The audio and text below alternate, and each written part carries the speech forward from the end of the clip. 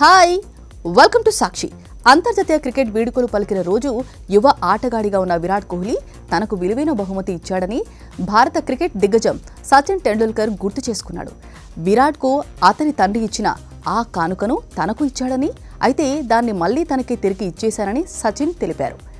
ఇరవై నాలుగేళ్ళ పాటు భారత జట్టుకు ప్రాతినిధ్యం వహించిన సచిన్ రెండు వేల పదమూడులో వీడ్కోలు పలికిన విషయం తెలిసిందే.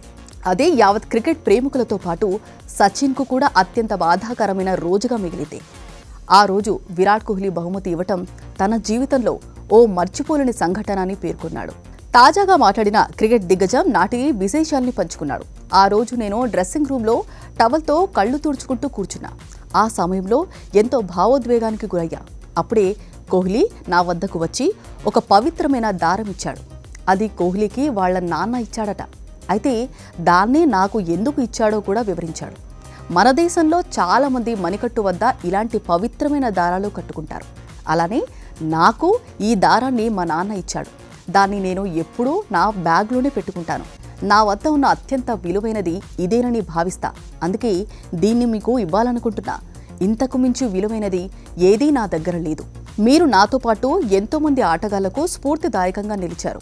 ఆ విషయాన్ని మీకు తెలియజేసేందుకే ఈ దారం ఇవ్వాలనుకుంటున్నా అని కోహ్లీ నాకు వివరించాడు అని సచిన్ గుర్తు చేసుకున్నాడు. ఇక నేను ఆ దారాన్ని కొద్దిసేపు నాతో పెట్టుకుని తిరిగి కోహ్లీకే ఇచ్చాను. అదెంతో విలువైనదని దాన్ని అతని వద్దే పెట్టుకోమని వేరే ఎవ్వరికీ ఇవ్వొద్దని చెప్పాను. అది మీ నాన్న ఇచ్చిన జ్ఞాపకం. నీ చివరి క్షణాల వరకు నీతోనే ఉంచుకో అని కోహ్లీతో చెప్పినట్లు సచిన్ వివరించాడు. అదొక భావోద్వేగ భరితమైన సంఘటన అని తన జీవితంలో ఎప్పటికీ మరిచిపోలేని మధురానుభూతి అని సచిన్ చెప్పుకొచ్చాడు.